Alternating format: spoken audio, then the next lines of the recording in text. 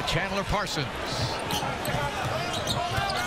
Harden trying to get a step on Redick. It counts. And he's fouled.